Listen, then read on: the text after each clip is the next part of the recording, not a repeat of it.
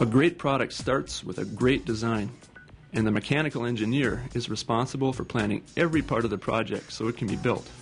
I use powerful tools like a 3D solid modeler to lay out my designs, see how moving parts interact, analyze stresses, and make fabrication drawings.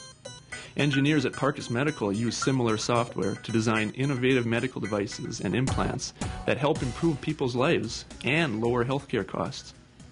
They work with state of the art biomaterials and use the latest technology like solid modeling and computer aided manufacturing.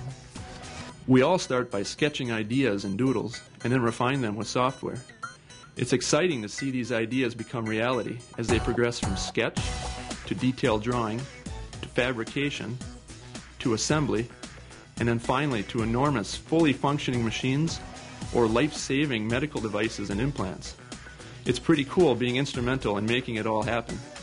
So if you love machines and solving problems, then you should look into the art of mechanical engineering.